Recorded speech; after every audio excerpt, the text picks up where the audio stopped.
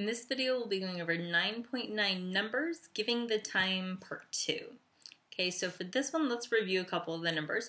So remember when we talk about numbers that are on the hour, so we'll say time, one o'clock, shake it, two o'clock,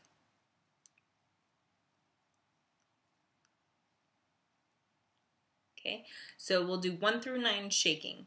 If we have 10 through 12, we can go 10, 11, 12. Okay, and then from there, whenever we add in the minutes to it, then we're going to use no shaking. Okay, so it'll be 3 and then over a little bit, 15 once. Okay, um, 12, 55, 9, 20.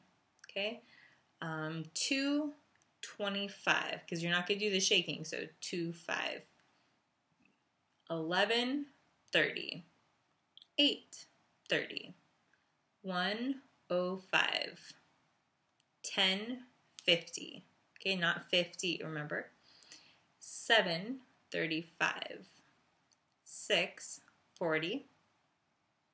5, 10. 2, 15. Okay, so practice those. Keep up the good work.